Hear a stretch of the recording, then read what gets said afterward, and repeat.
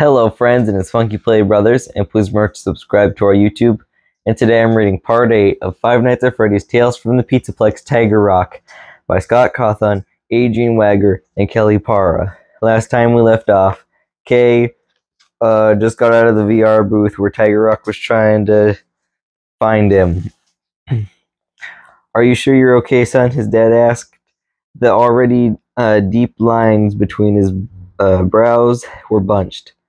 Like Kay's mom, Kay's dad wasn't a warrior, but he had a sixth sense when it came to an actual problem. When there was one, he liked being proactive about it, solving the issue instead of uh, fretting over it. Kay knew his dad's job was stressful, and Kay tried not to add to his dad's load. I'm fine, Dad, he said, just tired. Kay's dad rubbed his wide jaw. Okay, you'd tell us if something was wrong, right? Sure, Dad, Kay said. He ho- he hoped that his laid-back parents wouldn't worry wouldn't worry weren't worried enough to notice that he was lying. As Kay returned to the house, he heard his mom begin a story about Elliot and the hippopotamus he met by the river. Kay closed the sliding door glass door behind him and shuffled down the hallway to his room. As he went, he scanned the family photos that lined the hall. His pace slowed as he gazed at the photos, seeing all the images of him and his parents, and uh, Milia laughing and having a great time helped to erase what he experienced in the VR booth. This is reality, he reminded himself. Tiger Rock isn't real. He reached his room. He entered it and closed the door behind him. He leaned against the door and took a deep breath. It was only 9 p.m., too early to go to bed, but he didn't feel like doing anything. Kay crossed his tight, crossed his tidy room and flopped on the soft gray baboon comforter, comforter spread neatly on his mattress. He looked up at the ceiling and watched the curved blades of his distant Koa fan lazily swirl overhead. The fan was made of soft swish made a soft swishing sound that blended with the sound of the breeze in the trees outside his window. Kay's room was a big square space with, that had a, a sisal rug over croak flooring, the same flooring that was in the entire house. All his simple furniture was made of reclaimed wood, mostly scavenged from old barns behind torn down being torn down to build new ones. He looked he liked his rustic platform bed, his large deck, desk and shelves, and the tall dresser that sat between his closet and the picnic window that looked out into the home side yard.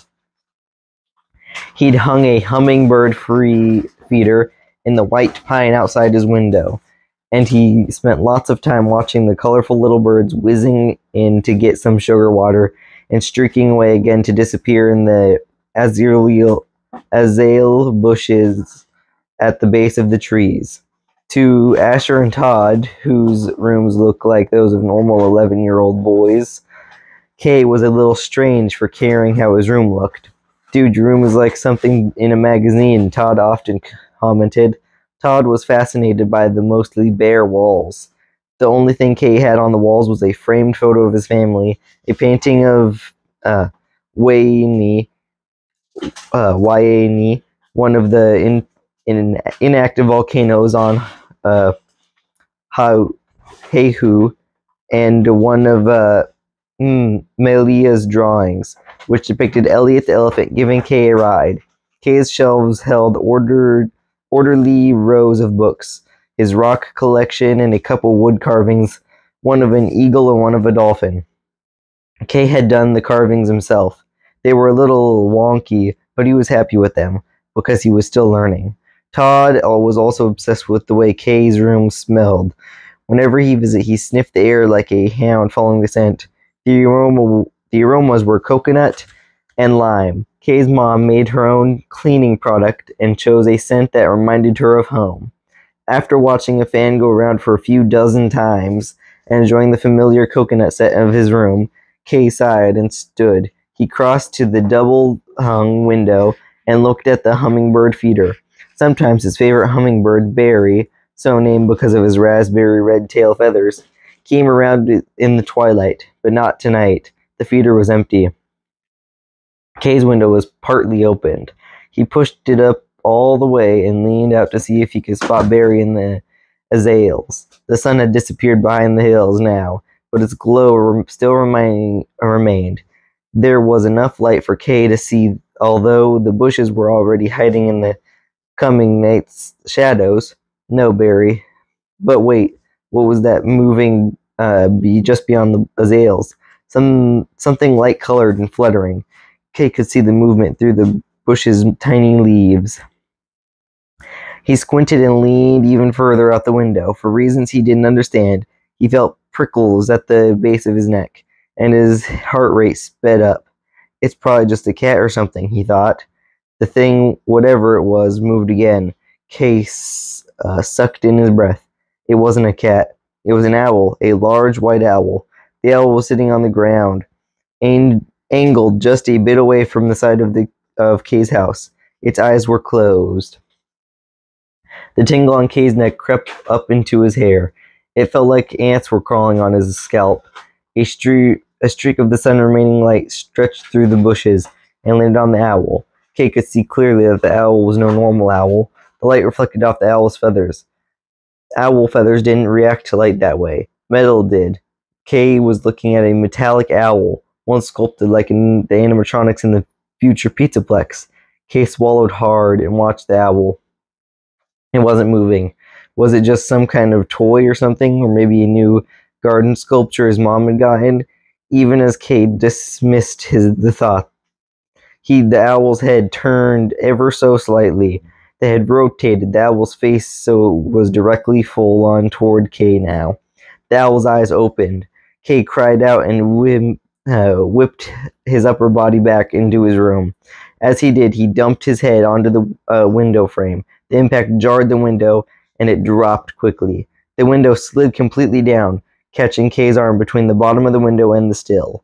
Because Kay had hung, uh, lunged back through the window so fast, his m- momentum kept him going even farther, at, even after his arm got caught. His arm stationary at the window didn't come with the rest of his body, which was trying to turn tumble into his room. Pain flashed in Kay's shoulder. It felt like his arm was being pried from his socket. Tears sprang to his eyes as he shuffled to his feet to get his balance. He grappled, he grabbed for his dresser, catching himself so he didn't continue to fall away from where his arm was caught was caught in the window. Getting his teeth, Kay managed uh, grid, gritting his teeth. Kay managed to right himself and use uh, uh, himself, and he used his free hand to lift the window off his trapped arm. As soon as the window was up, he retra- retracted his arm and rubbed the spot on his forehead that had taken the brunt of the heavy window's frame. Then he rotated his arm to make sure he hadn't done any major damage to his shoulder. He hadn't. His shoulder was sore, but his arm was moving okay. For several seconds, Kay clutched his dresser and tried to steady his bra- breathing. His heart was uh, thur- thurming so loudly that it that's the beat that its beat was all he could hear.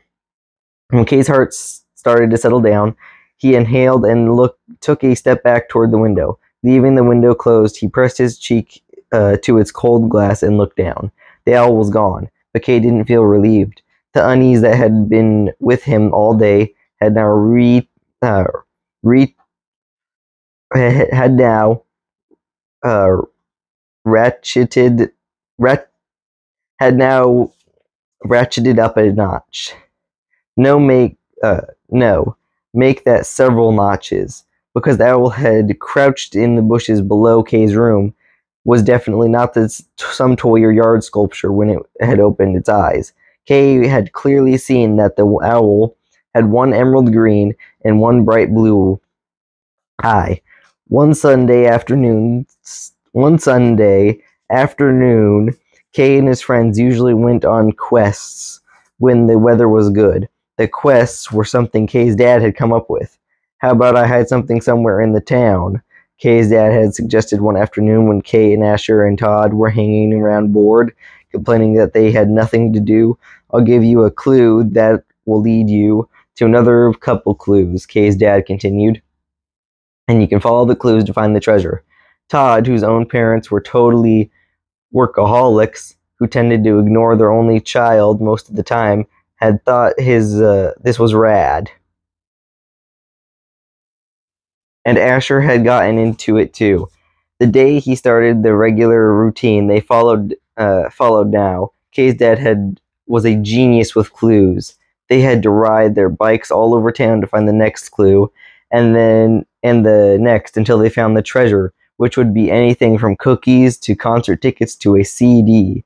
Once they were once when the clues were really hard, they'd found 33 $50 bills in a little wooden chest hidden in a nook at the base of the clock tower in the tower square, town square. Kay was still jittery that the day after he'd seen the owl.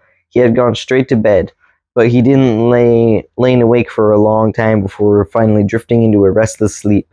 All night long the owl had haunted his dreams, so much so that Kay had used his wake myself trick three times.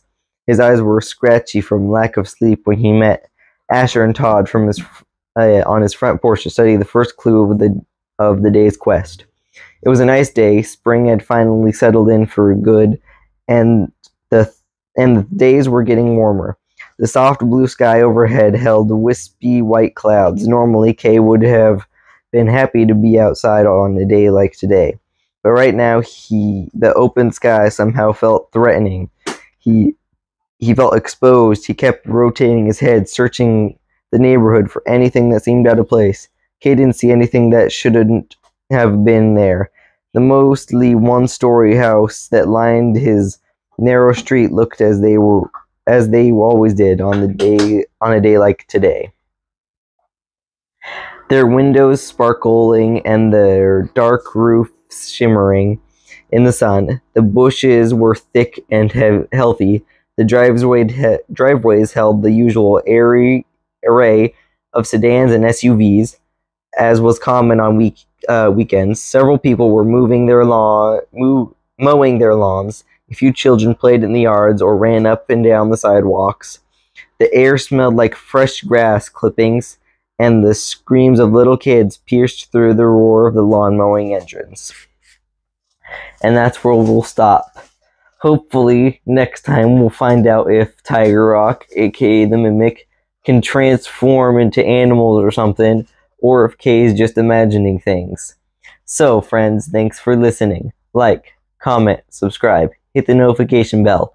Follow us on Twitter at the Funky Play Bros. Follow us on Instagram and TikTok at Funky Play Brothers. Support our vlog at Cash App with the dollar sign Funky Play Brothers so we can have more unboxings, more taste tests, more adventures, more monies, and for support. Thank you for watching. Bye.